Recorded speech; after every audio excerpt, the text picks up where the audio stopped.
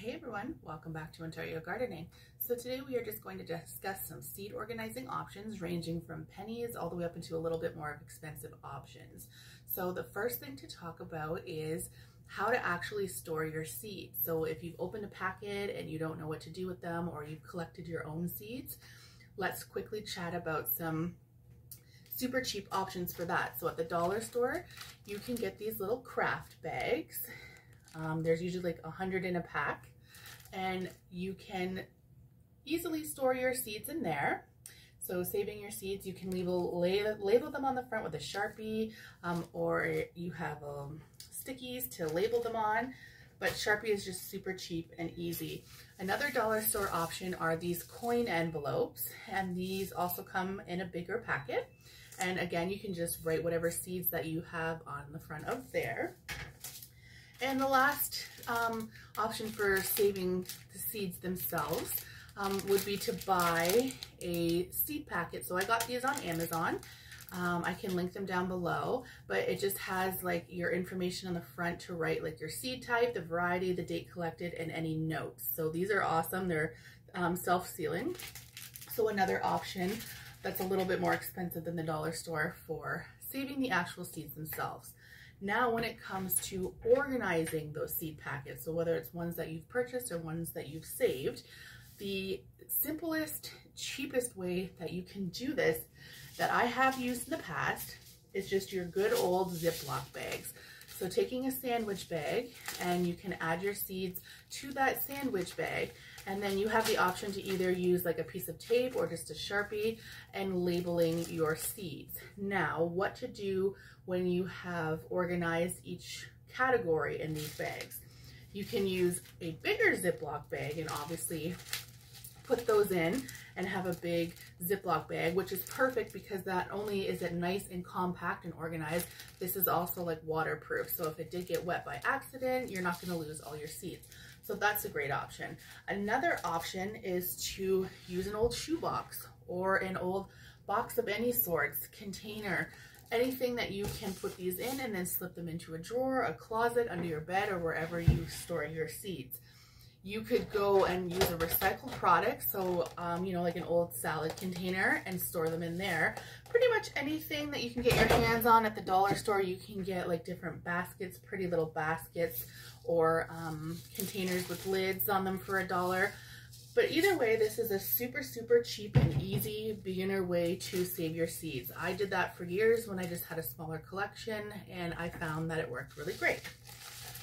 Another option on the cheap for saving your seed packets, the dollar store now has things like these. So this is backwards for you, but it says seeds and stuff.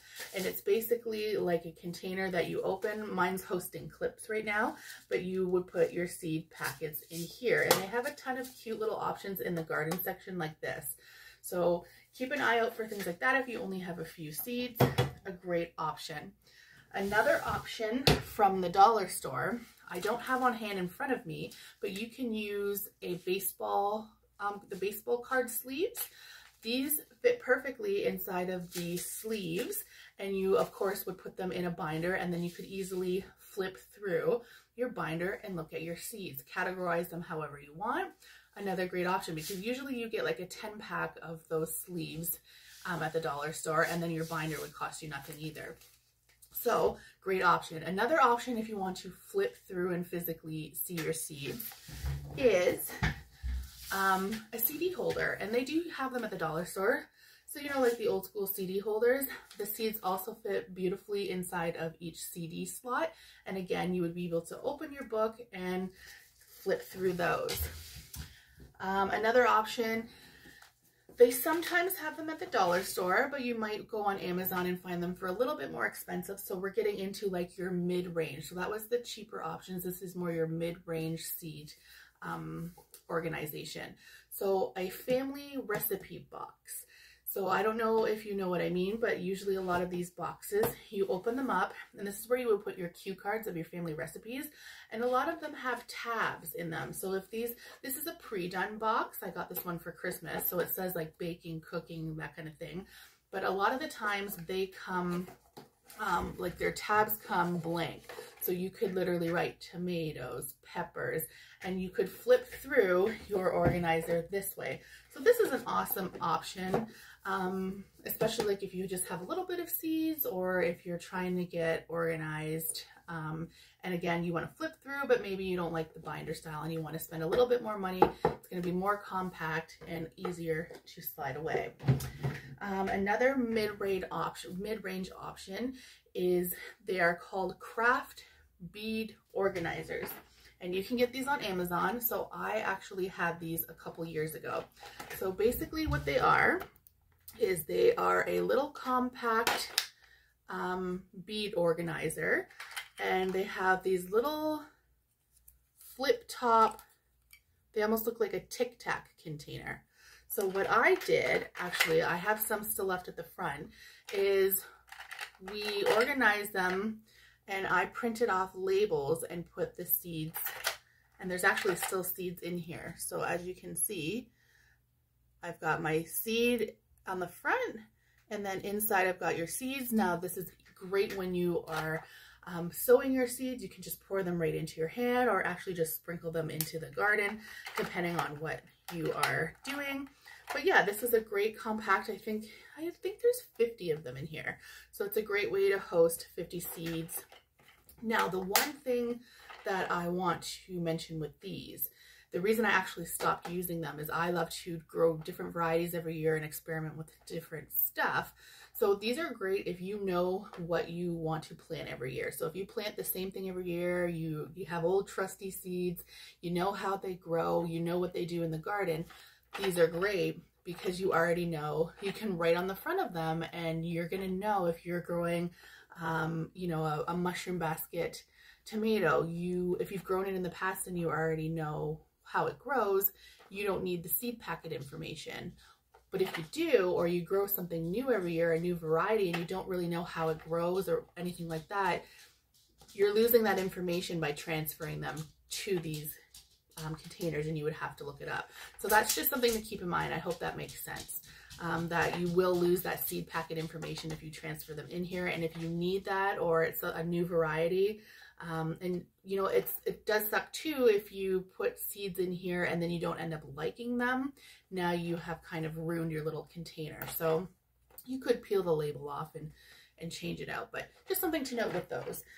Um, one of the last seed organizing things to talk about, and this seems to have blown up in popularity on the internet, is these photo album organizers from Michaels.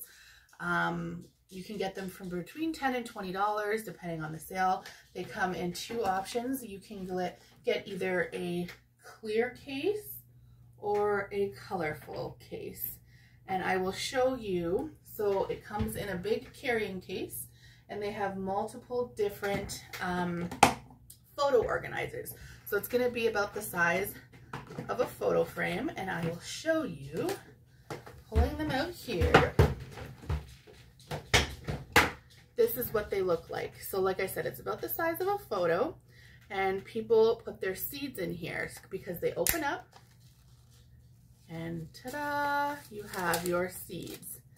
So I have gone through and labeled all mine personally, so by category, um, and this is a great option. It's hard plastic. They slide in slots beautifully. You can label them. You can change the labels on them. It fits the entire seed packet, so you're never losing out on that information that you get on the back of the seed packet.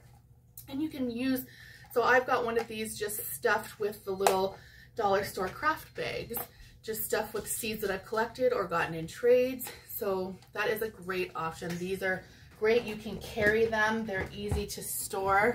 Um, you can put them anyways. Uh, so I, like I said, I have all of mine labeled as you can see inside. All of my categories are labeled. I've put some stickers on the outside. You can get these wet. You can kick them. I've had a dog stomp mine. So they're just an overall great product. But anyways, I hope that helps somebody with some seed organizing ideas. You can, like I said, do it for so cheap, um, or you can go a little bit more expensive. It depends how much you like to garden, how many seeds you have is a big factor, and how big or little that you want to go. And I hope this helps somebody. So we will talk to you soon. I guess we will see you Friday. We're making croutons. So we will talk to you later. Bye.